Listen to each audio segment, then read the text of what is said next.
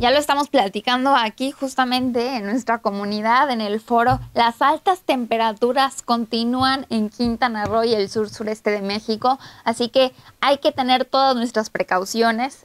Hay que escuchar este mensaje de la Secretaría de Salud del Estado de Quintana Roo sobre cómo evitar un golpe de calor. En esta temporada de calor, la Secretaría de Salud te recomienda no te expongas a los rayos del sol por mucho tiempo.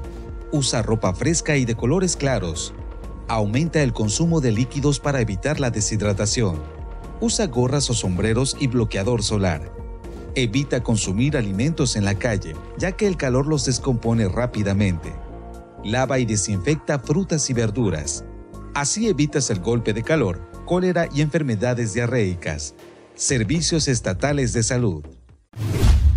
Gracias por continuar con nuestra transmisión por el Sistema Quintanarroense de Comunicación Social y sumarse a nuestras redes sociales que aparecen aquí en pantalla. Recuerden que aquí es una plataforma para que nos compartan dudas, sugerencias, comentarios, denuncias. Hagamos nuestra comunidad de Infraganti más grande. Gracias a cada una y cada uno de ustedes.